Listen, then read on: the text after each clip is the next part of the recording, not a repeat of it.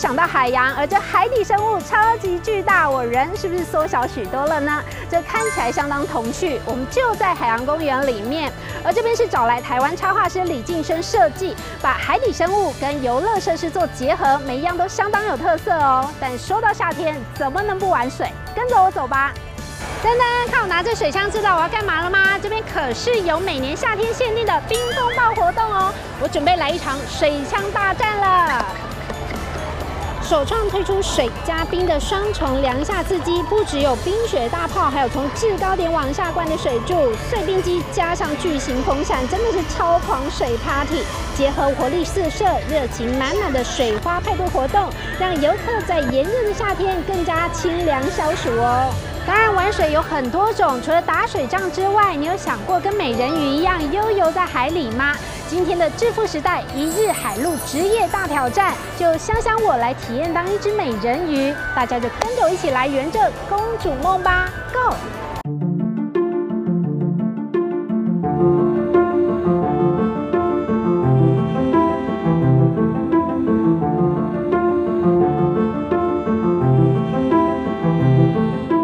沉入海平线，随着鱼尾摆动，优美腰身曼妙翩翩，波光粼粼转印在人鱼肌肤上，优雅回旋的身姿将人鱼的美尽情展现。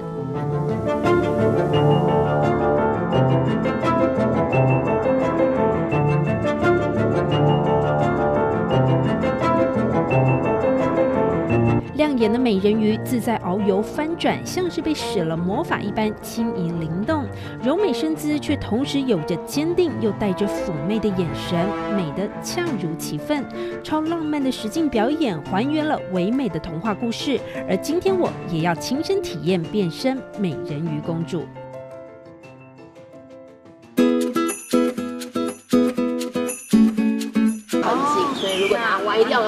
很难调，真的很紧，犹如被绑住双腿，但可绑不住我当人鱼的心，就由专业教练带我们入池追梦吧。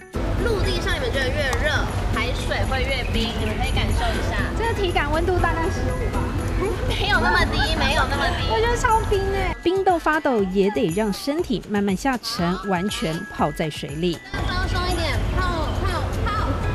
直到适应温度，开始进入人鱼世界。胸、肚子画，很好，很好。有了水中 wave 出体验，也得试试实境练习。我们放松，肩膀也放松，肩膀放松，好，开始做人鱼的 wave。真正入水才知道，人鱼最困难的环节是把基础的美人鱼姿态游得漂亮、游得流畅。看看我这上半身僵硬直挺挺，透过教练不断调整后，才渐渐抓到感觉。有比刚刚那一趟好一点，太难了，岸上的水里真的差太多。开始习惯律动，美感慢慢进步，往前游动了，但一个转身上岸。好，起。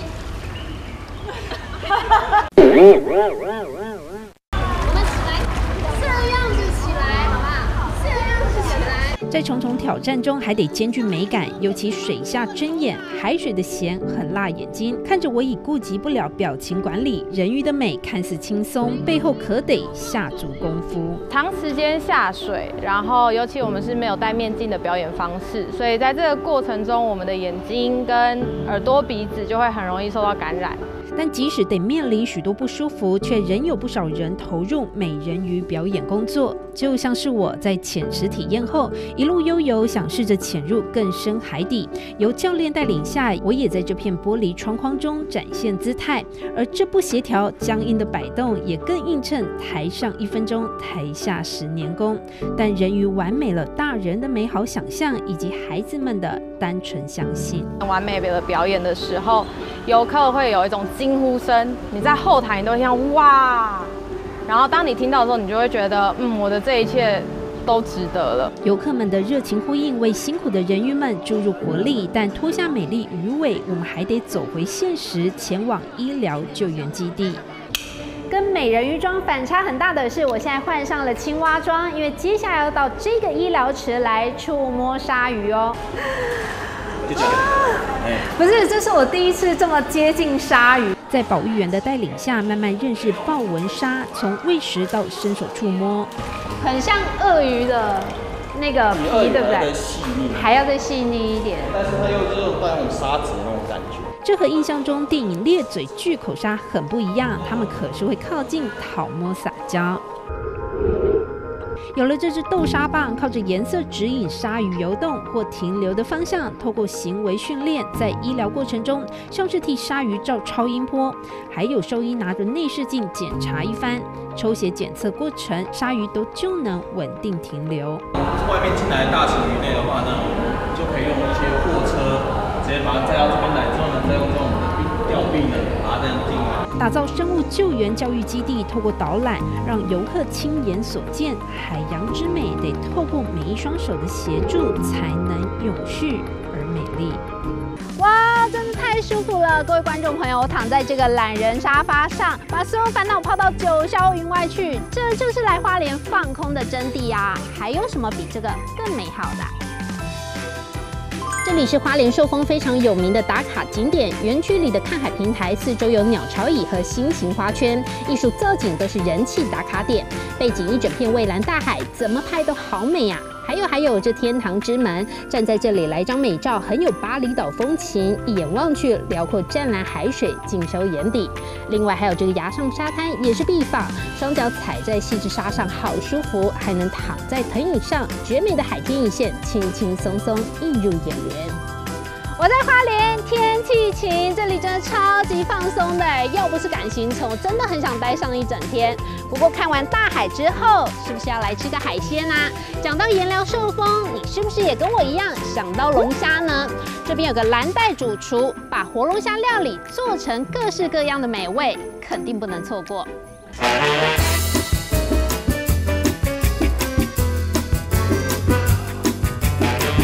裹上面包粉的炸馒头，酥脆衬底；橘红身子的主角龙虾肉，霸气铺满的上头，一口咬下，口味层次完美合体。沾上龙虾酱，增添风味，入口勾引味蕾。一旁香芋滑顺的浓汤，饱满肉质浸泡其中，吸取香气。光是这样还不够看，叉子拉出长长千丝焗烤面，同样少不了 Q 弹肉质龙虾肉，表皮微焦，冒着橘红泡泡的火烤方式，一出炉飘出焗烤香气。经过摆盘上桌，一入口扎实弹甜，一道道以龙虾为主角的料理，都来自主厨康家杰之手，能够把同一食材玩出多种变化，全来自过去扎实训练。墙面上一整排蓝带证书，不需言语的成为他的最佳认证。这两张小张呢，是我在日本东京拿到第呃这一张是呃初级的证书。远赴东京蓝带学院分校，一路再到高雄校区取得高阶证书，有了专业法式厨艺洗礼。康家杰把所学带到花莲扎根。盐寮这里是产龙虾，出名的是龙虾。那整条海鲜餐厅全部都是卖龙虾的。那我一直在想，我能我能做出什么不一样的特色的食物，而跟人家有区隔。所以我我就利用我所学的法式料理，然后衍生出了龙虾堡。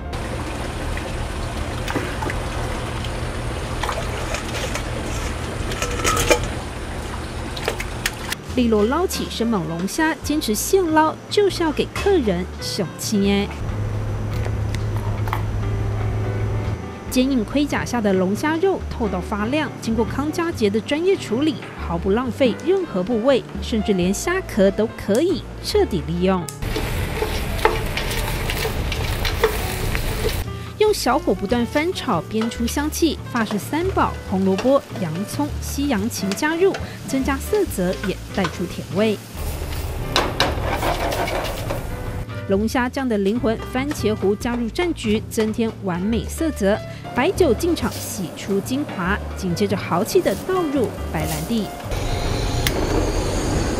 火焰秀精彩上演，烧去酒味，留下香气，再加入水，开始熬酱。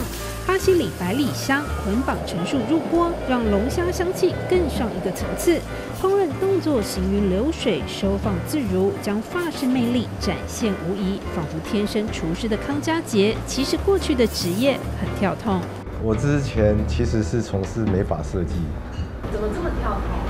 对啊，有一点，虽然现在剪了光头，应该是说我从蓝带毕业的时候，然后因为那那段期间是刚好毕业，想说啊，全台湾我还有很多地方没去过。四十六岁第一次来花莲，就选择哦好，花莲没去过，我就到花莲来这边打工换书，然后就上网找资料，然后就找到一个民宿老板愿意哎接受我这么年纪大的来打工换书。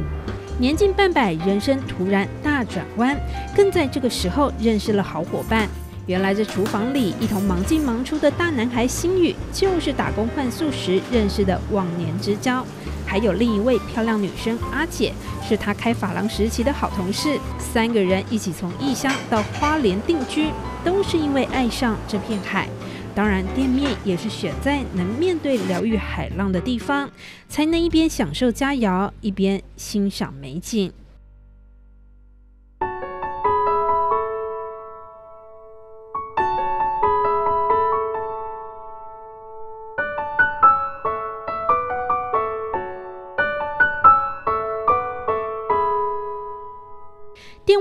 诱人，店内装潢更是用心布置。过去在美发业的收藏，还有闲暇时的随性创作，每一个角落都有着可爱的小细节。再加上开放式厨房，让主厨的料理艺术零死角呈现在客人面前。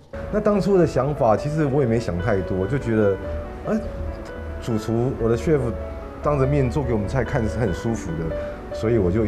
有样学样。当初以为来花莲住在海边可以过一个很 Q 的生活，拿着一杯一瓶海尼根，然后每天悠哉悠哉过生活。安定下来之后，真正尝试在这边过生活，反而就是更加的忙碌。因为从起床之后，我要进市区去采买，然后从备料巴拉巴拉一大堆下来。想要悠闲，得到的却是不得闲。但这样的忙碌换来的是更多的心灵满足。四十六岁才转换职场跑道的康佳杰，有着一颗年轻的心，带着简单的初衷，不变的坚持，还有好友们的相互扶持，让偏僻小店难掩光芒。想要深度感受东台湾的生态静谧，来这个植物农场就对了。面对梦幻湖的是一整排的彩虹椅，不少人会来到这里打卡取景拍照。不过呢，眼前还有这个无法用言语形容的云景、山景跟水景，美得像一幅画作。必访的就是这植物园里的梦幻湖，湖景平静疗愈，可以清楚的看到壮丽山景和绿意森林的倒影。往里面走，就会看到拥有丰富的植物种类农场。放眼欣赏，感觉到处都能看见云山河水，有种远离喧嚣的感觉。来到这里，千万不能错过这个跳水瀑布，这边可是这里最夯的美拍打卡景点哦。流水潺潺，加上这一个绿荫瀑布，虽然是可以消暑降低暑气，但说到消暑，当然就是吃冰啦。所以接下来要带你去吃一家冰店。这一家冰店的老板呢，是坚持要用当季水果来做成冰淇淋、冰棒，还有串冰，所以去到店里啊，每一次都能吃到不同的口味哦。看爸爸吃啊！爸爸去吃很多的，爸爸吃很多了。再给你一点点点点。一碗冰入口透心凉，满足小朋友的吃冰欲望。化学添加物跟什么的这种东西，自己要吃又要给小朋友吃，这种东西都一定要拿掉啊。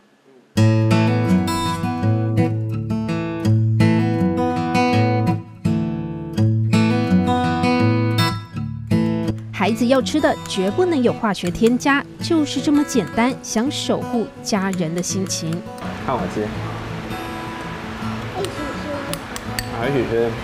注重冰品的食材与用料，老板庄淑宇和当地小农合作，黑糖搓冰铺上新鲜食材，在地凤梨切丁，果香自然散发，搭配来自南华的芋头搅成泥状。滑顺香甜，滋味迷人。另外，整朵的洛神花更是吸睛，咬下脆口，带点嚼劲，一入口酸甜味席卷舌尖。新鲜水果与清凉冰品的碰撞，就是夏天的味道。也因为坚持天然纯手工冰品，食材都得自己煮。爸爸庄敏玲为了力挺儿子的梦想，辞掉在中国的工作，回台帮忙。而弟弟庄书豪也加入协助，一家人因为这家店凝聚在一块。擦冰要用的黑糖得不间断手工翻炒，这活就交给弟弟。靠经验，因为我们一开始一开始的香气不够，然后是有客人有一个客人老人过来跟我们说，好像少了一个味道。火候、时间都得拿捏得宜，还得拿着大锅铲快速翻动，否则一个不留意就会烧焦，毁了整锅糖。炒久一点，它的香气才会到。但是，假如再炒久一点的话，它就会变成黑的，它就会变太黑，就会变苦。怎么炒出独特香气，散发迷人焦香，全凭经验。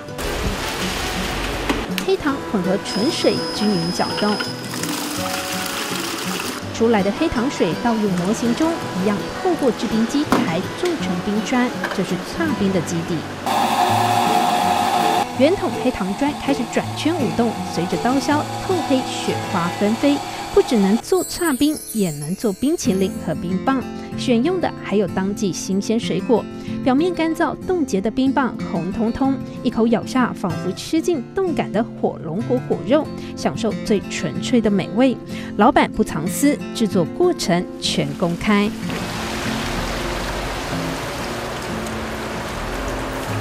水洗火龙果后，一刀划下，轻轻剥下那桃红色外皮，红而鲜嫩的果肉呼之欲出，带来丰沛多汁视觉感。装入桶子里，简单切成小块，接下来送入机台和糖水调和，打成果浆。以机器取代人工，是要确保搅拌得更均匀。等待过程中，老板也没闲着。将冰棒棍依序固定，准备就绪。恰好果浆也调好了，倒入专业制冰设备中，整齐排列，一颗颗送入溢满式冻结槽，靠着零下三十度急速冷冻。再次开启，已从液态果汁化身成为颜色饱满、冻结诱人的冰棒。没有多余香料、甜味剂、防腐剂，每一只冰棒的风味交给大自然决定。没有标准化的口味，把来自风土的味道最纯粹的呈现给每一位客人。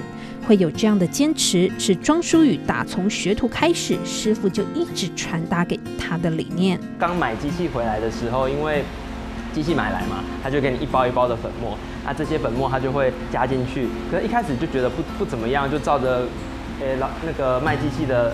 厂商说的就直接加，后来就把那个机器打开，看后面的那个添加物表，哇，满满 A4 纸一整张都是添加，他自己都吓到了，把那个都倒掉。要用天然食材去把冰品做到尽量一致的口感，相对的备料时间势必拉长。从一个在台北繁华城市的上班族来到乡下学制冰，其实背后还藏着对另一半爱的故事。那时候还是女朋友，现在是太太。的妈妈因为身体有一些状况，我就是想说要换一个比较好的居住环境，所以就也很喜欢花莲，想说来这边住住看。想让离癌的岳母有更舒适的环境，毅然决然搬到好山好水的花莲。即使现在妈妈不在了，但也庆幸当初的选择，亲情陪伴最后时光，让他和老婆吴家如不留遗憾。现在夫妻俩一起打拼，撑起冰店。但同一条街上不到三百公尺就是当地知名冰品，老板庄淑宇是这么说的。有一些客人就开玩笑说：“哎，那边还要排队，来这边吃冰比较聪明，这边是聪明冰。”他们有时候会有公休的时间，啊公休的时间，客人就是现在大家用 Google 嘛，对不对？他其实找一找，发现哎，旁边还有一间冰店，就会过来。我们就这种时间点，我们就会有机会再认识其他的客人。那另外一部分，我们比较多是客人介绍客人来的。想法和阿 Q 不怕被比较，相信自己的特色也能被看见。庄淑宇坚持只做家人也能放心享用的冰，用季节与风土的美圆满自己的梦。来花莲怎么能不来鲤鱼潭走走？这边可是东台湾最大的内陆湖泊，而且呢，这跟南投日月潭相比，真的景色毫不逊色哎。再加上，因为这个平静的水域是非常适合新手来玩水上立桨，用不同的视野来看这一片湖泊之美。水上活动还不止这样呢。如果不想晒太阳，可以踩踩天鹅船，相当童趣，是一个适合全家大小出门踏青的景点。在鲤鱼潭还有水岸步道，全长一百二十公尺，环绕四周。走在水岸步道上，可以眺望鲤鱼山的青翠风景，还能近距离欣赏鲤鱼潭的水色景致。顺路还能来鲤鱼潭湿地散步，享受这人与人、人与自然间的慢活步调，比想象中美好哦。那我要继续散步了，接下来时间就交给卓婷吧。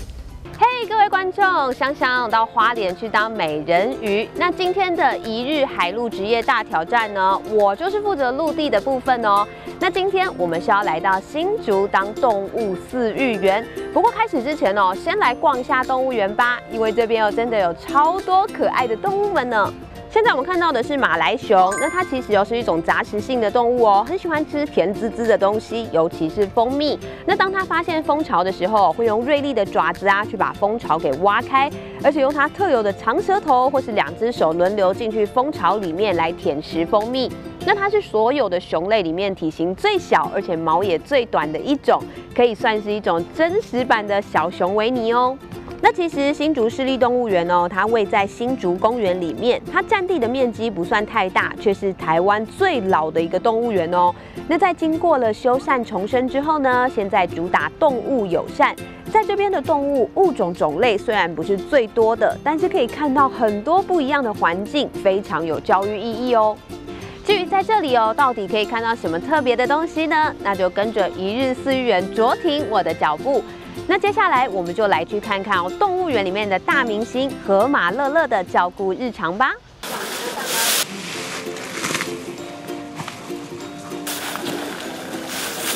头好壮壮，在水中悠游。新竹动物园的大明星乐乐是个三十五岁的女孩子，在河马界来说，身材浓鲜合度，大约一千三百公斤。每天太阳公公露脸，保育员就要准时登场，送上丰盛美味的早餐。今天就让卓婷我来打打杂吧。他们河马虽然很大只，但他们是草食性的。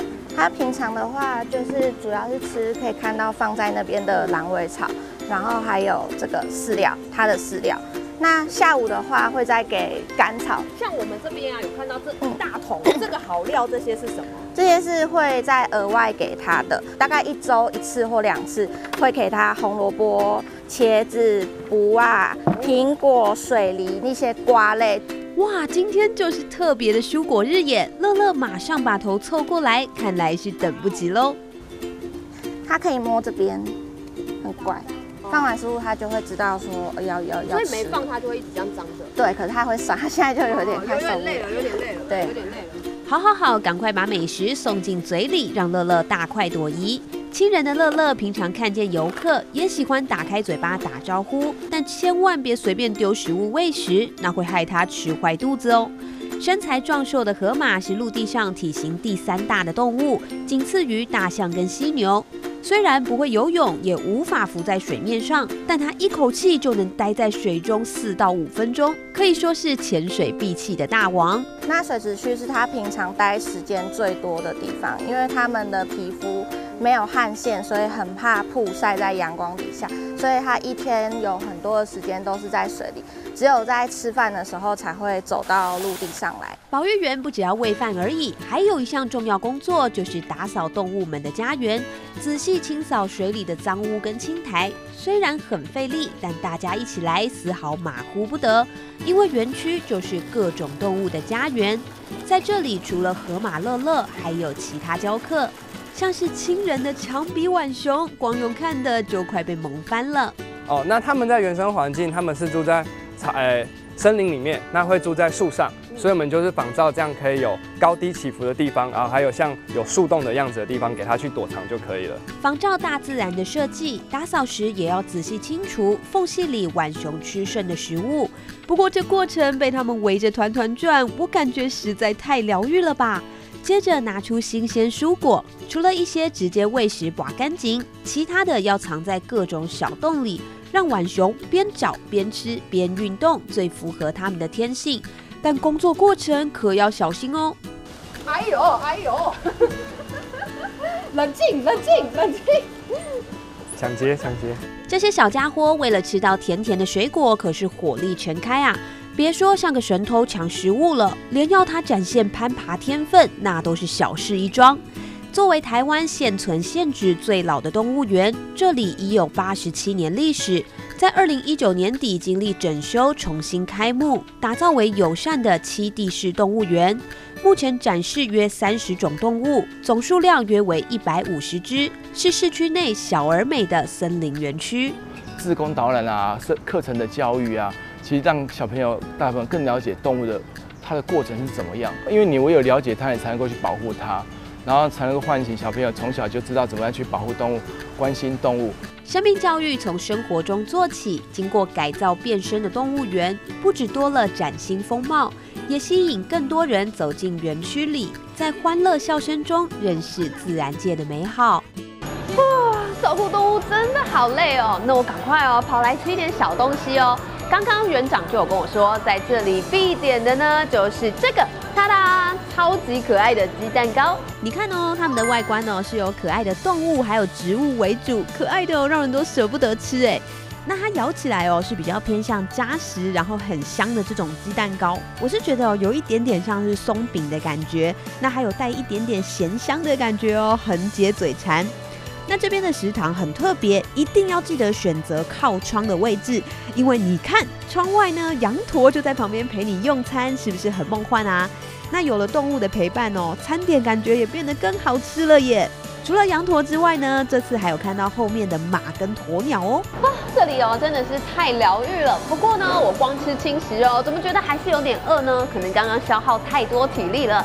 接下来带大家去吃一间新竹的隐藏版美食，老板哦为爱妻打造了一个砖窑，在那里哦不只是窑烤面包被秒杀，就连披萨都很受欢迎哦。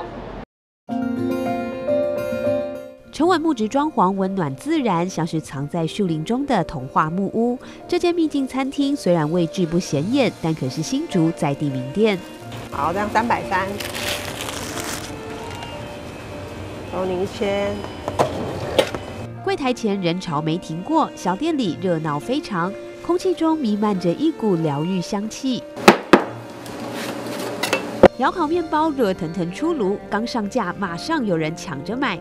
其中最受欢迎的招牌口味就是黄澄澄的蜜橘吐司，光是用闻的就很疗愈。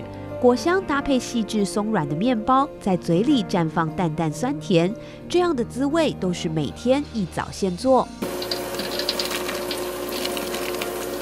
在地特产茂谷柑做原料，果汁替面团点缀色彩，蜜渍橘皮是香气的主要来源。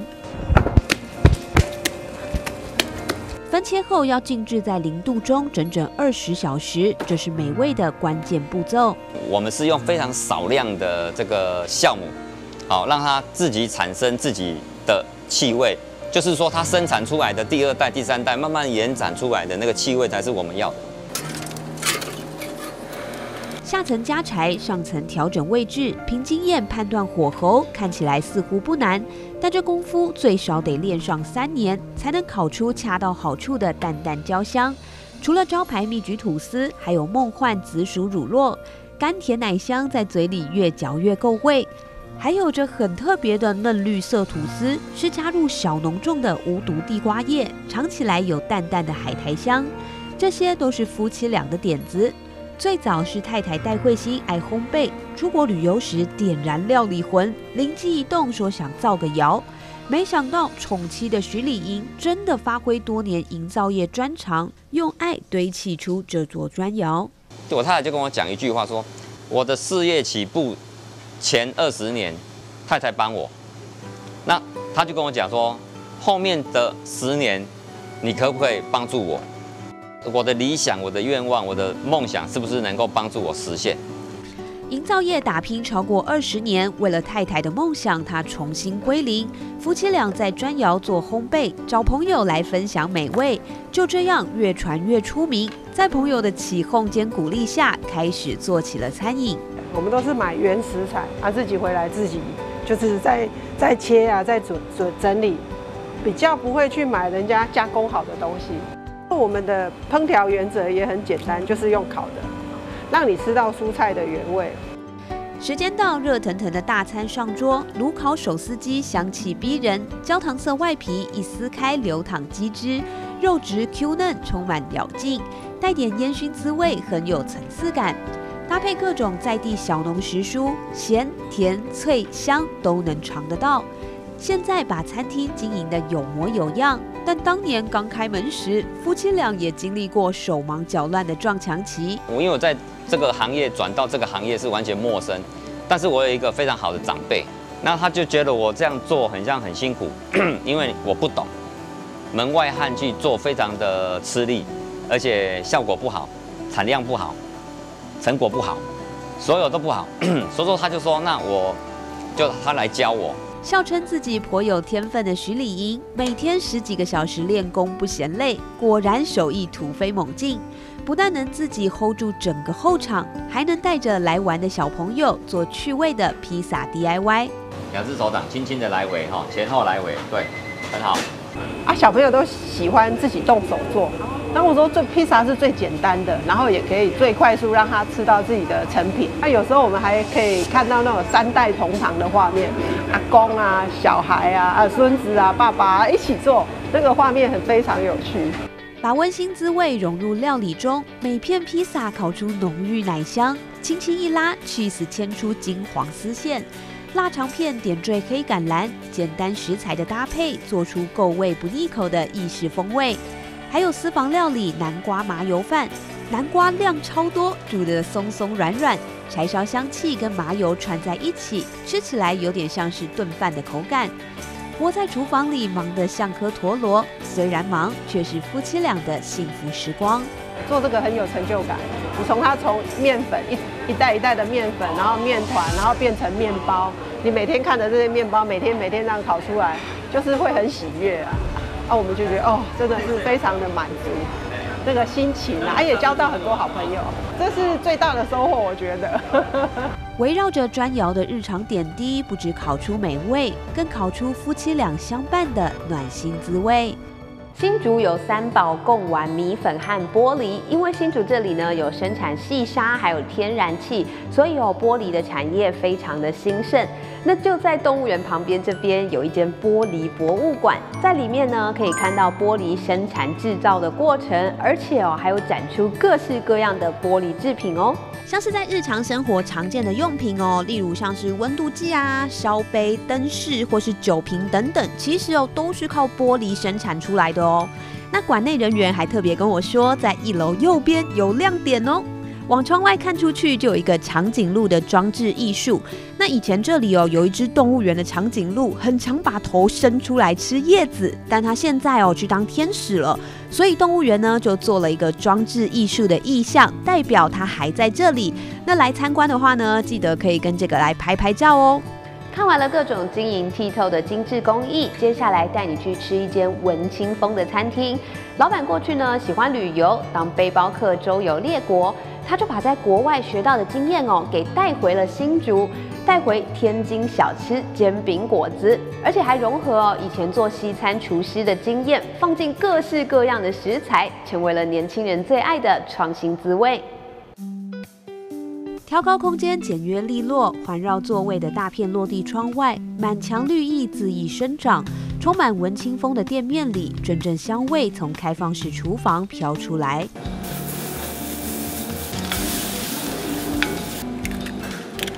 面糊摊平，打上一颗蛋，加点葱花跟芝麻，诱人蛋香扑面而来。这做法看起来好像很眼熟，但这可不是常见的可丽饼，而是东方风味的煎饼果子。它就是一个像天津的一个街边的一个小吃，它的面皮是用绿豆做，这中间会夹一层我们自己炸的薄脆，它就是为外 Q 内脆的一个口感。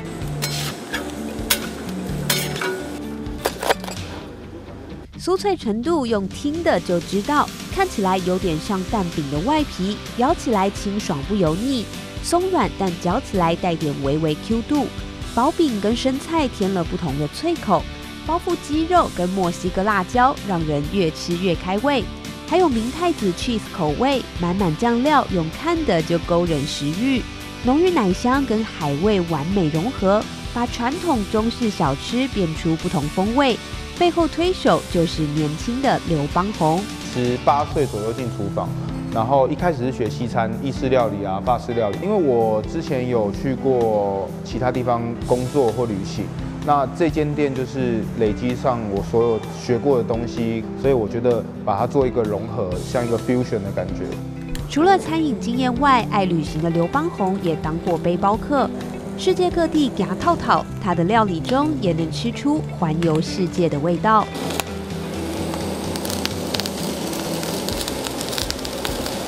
它就是用整块的五花肉下去卤，然后卤完之后先冰镇之后再切片，再下去炙烧。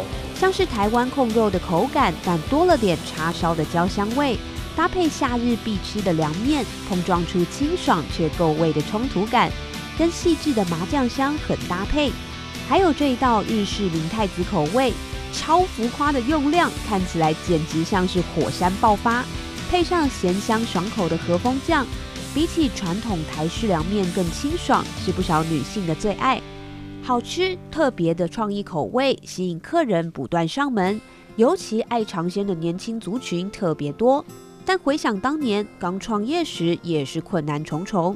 一开始的资金就是用贷款的方式，对对对，下去就是就是放手一搏这样子，就是用贷款下去下去做，然后可能到一开始的第一年也差一点点就。结束了，不会有点担心吗？会啊，就是蛮反对的啦，会觉得，呃，会觉得，不然就还是出去找工作吧。贷款两百万做创业本金，跟太太两人一起打拼。虽然生意没有预期中顺利，但刘邦宏就是不想放弃。他努力钻研菜色，口味品相越做越多，还主打平民铜板价，翻开菜单几乎都是百元油照。像大家说的，就是薄利多销，对对，就是我们会可能量的部分会比较多。譬如说每一道菜，我也不会觉得它工比较多，所以我就卖比较贵。我就是我用多少食材成本，然后就是卖多少钱。虽然便宜，但食材不能打折扣。面条是跟新竹在地面厂合作，当天一早现做，直送厨房。除了面体本身以外，最重要的灵魂就是拌面酱汁。这是我们自己炼的虾油，就是用虾整只虾下去煸，把它煸到整个虾子会透明。酱油的部分是我们每天特调的。加入鱼露、蒜头跟葱花搅拌均匀，最后点缀黄瓜跟蛋丝。宽面条特别有嚼劲，越咬越能尝到虾油鲜香。浓郁蒜味的油封虾很刷嘴，大口吸面超过瘾。好滋味让小店生意越来越好，但刘邦红停不下来，脑子里总有各种新的点子。我们现在也都会有季节限定，就是大概每一季都会有一些新的菜啊，新的口味的凉面，像新的口味的拌面这样子，每一季都会有新的。要让客人每次来都能吃到新口味，走过最低潮的那段时间，对于得来不易的成果，刘邦宏丝毫不敢松懈。每件事情几乎都是亲力亲为啦，所以。真的最有感触的就是睡不饱吧，就是每天都睡不饱。觉得就七十分吧，就是有及格啦，但是可以，我觉得可以再更好，就是细节上可以再做得更好，让每一个来的客人都会很满意的离开这样。总是想要再拼一点点，刘邦宏天马行空的创意是他源源不绝的动力。从西餐到小吃，从走遍世界到回归家乡，他用好滋味走出自己的舞台。新竹哦，好玩好拍的点越来越多。那像这边呢，在香山湿地桥间带的这个赏蟹步道呢，因为有新型的石户造型的步道，所以吸引超多的人过来打卡朝圣哦。香山湿地生态馆哦，跟赏蟹步道相连接。生态馆的二楼窗户还可以眺望赏蟹步道跟香山湿地。想要拍步道全景的话，不用出动空拍机，只要走到二楼来就可以了。那你看新竹哦，也有这么美的延伸海岸步道，不输给东北角的鼻头角步道啊，或是忘忧谷步道。那赏蟹步道呢，虽然只有短短的两百五十公尺，但让你不用双脚踩着烂泥，就可以看到很多潮间带的生物哦。让赏蟹步道爆红的，就是这个爱心形状的石户步道，延伸在湿地上。那来到新竹哦，一定要吃一下小吃。接下来带你去吃的这一间百年老店呢，就在新竹城隍庙前面。这间卤肉饭目前是由第三代跟第四代在做的，但它这种让人怀念的勾扎比哦，是很多新竹人上班前必吃的早餐哦。猪肩颈肉先烫过除腥味，再用机器切成小肉块，另一头拿猪油跟红葱头爆香。红葱头在油锅内仿佛在跳舞，煸出蒜香气味。这么热的天气，老板娘苏瑞凤还得耐着高温，不断搅拌锅铲，只是为了避免锅底烧焦。非常的热，全部都是满头大汗，挥汗如雨，也甘之如饴。爆香之后，再把猪肉跟酱油炖煮四十分钟。好吃秘诀在于卤肉熬煮完，冰镇入味。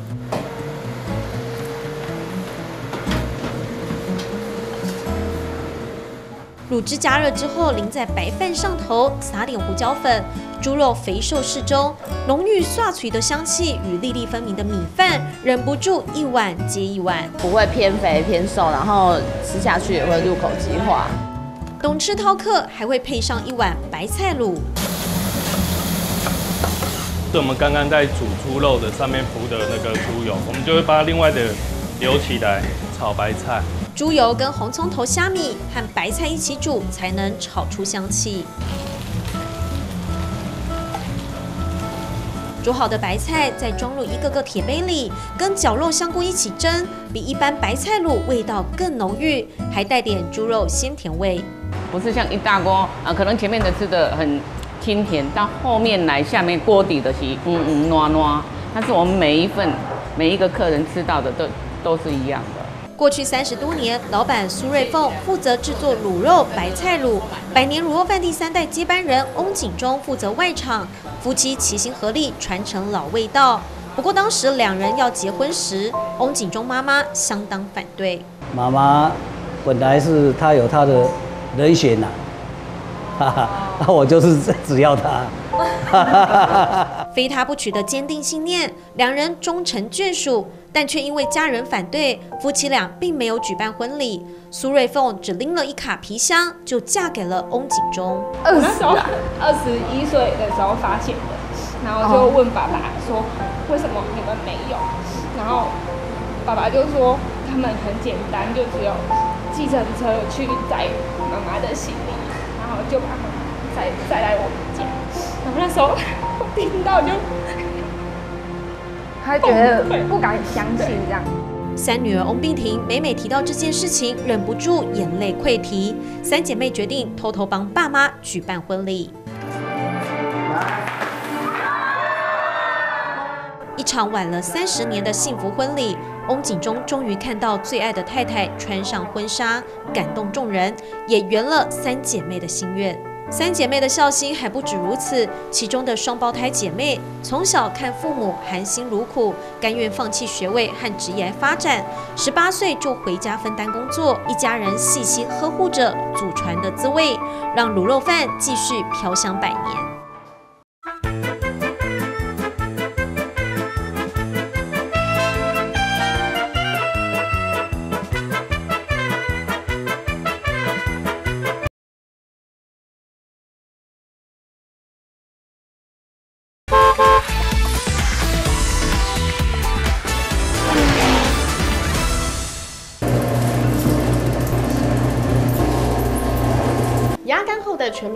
一块块敲碎，丢进机器中，雪白纯净的细小颗粒碾压出一个个圆柱形米团，整齐排列在蒸笼上。推进蒸笼，冒出袅袅炊烟。五十分钟精华时刻，将米团催生到三分熟，外熟内生，恰到好处的制成，影响米粉 Q 度和关键口感。用米下去做哈，压干的果团是粉粉的，一定要做一个模型下去蒸，蒸三分熟，熟的 Q 度才有这么 Q，才有弹性，好，不会容易断。没有蒸过的米团呈现粉状。过熟了又会导致口感太黏，三分熟的米团再透过机器轮压，米团为黏又有弹性。经过两轮压制后，利用这台传承四代的机器转啊转，轮成大大一张米片。只见老板娘拿起小刀，一刀一刀斜斜切过去。大大一张米片掉落下来，一旁师傅利落卷了起来，变成一张厚地毯接下来。细如发丝的生米粉纷纷落下，根根分明，微黏而有弹性。一篓一篓放进白铁蒸笼，静待时间熟成后，一场难得一见的绝活即将登场。漫天烟雾蔓延整个室内，一时间伸手难见五指。郭家人在梦幻雾气中丝毫没有浪漫的兴致，一个巧劲甩开米粉，散出热气，在空中画出一道小弧线，紧接着一刀一刀分切成块。刚蒸出来的米粉又叫湿粉，一大家子分工合作，称重捆绑，准备送到摊商手中，剩下的还得经过日晒烘干。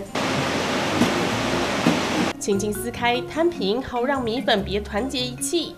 之后再用长长筷子夹起来，左右一个卷折，慢条斯理地抽出筷子。不一会儿功夫，整个竹塞放满满，行云流水的节奏是累积了二十多年的真功夫。第三代媳妇林美金嫁来新竹，和老公郭连进原本在做装潢，后来因为小叔生病过世，夫妻俩毫不犹豫回家接家业。你想说这个是传承嘛，还是比较辛苦一点。坚持传统，努力推广，百分百纯米制作的米粉也开始渐渐受到消费者重视。第四代接手后，调整制程，把日晒改为室内风干，让品质更稳定。老店也在变与不变中转换，坚守着九降风吹来的传统命脉。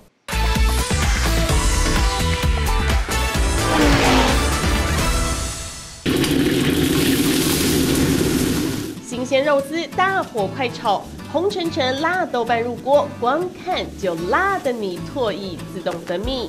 莫尔斯比起涂抹接手，经过简单调味，巧劲甩动，大火诱发锅气，经典川味鱼香肉丝，里面不是真的有鱼，但鲜味不输阵，香气更浓郁。第一眼讲究见油不见汤，入口酸辣鲜甜，汇聚舌尖，丰富口感令食客们大感意外。配上白饭，秒杀几碗也不意外。猪脚肉上场现鲜，辣豆瓣酱同台登场，将菜肴染上红晕是川味日常。猪脚嫩豆腐压轴演出，同样是白饭杀手的麻婆豆腐。经过大火淬炼，收干汤汁，最后勾上一点点薄芡，耀眼夕阳红，勾引食欲。豆腐端一端抖动一下一下，诱惑着眼睛。浓郁汤汁咸香渗入食材，口感麻而不过辣，却又令人扒饭连连。还有一道看似客家菜梅干扣肉，其实是四川名菜咸烧白。肥瘦相间的五花肉，肥而不腻；梅干菜微辣带咸，又能回甘，与客家口味拥有微妙差异。把家乡料理诠释到位，长出着向俊逸仅有三十出头，熊熊烈焰窜上天，丝毫无惧。向俊逸长出技巧熟稔，没几分钟就能端上一道好菜。从小看着爸爸向道林做料理，让他不自觉有了一种使命感，自愿传承川味餐厅。其实菜就是我们对自己周遭的人的一种联想，但是对我来说，菜可以一直传啊。可是人不一定会永远在啊。人会离开，但料理却能永流传。向俊义回想过往受奶奶影响深，传承不仅让他笃菜思人，还能让家的味道永远被记住。有时候命运是你踏上一条你未必想走的路，但是你不得不这么做。就此踏上料理之路，和爸爸携手合作，学习精髓。虽然仍少不了叮咛和提点，但儿子的表现看在老爸向道林眼中，难掩骄傲。放心把这大厨之位拱手让贤。上阵父子兵呐？哎，我们一起共创业，共同突破，再再跃再跃进。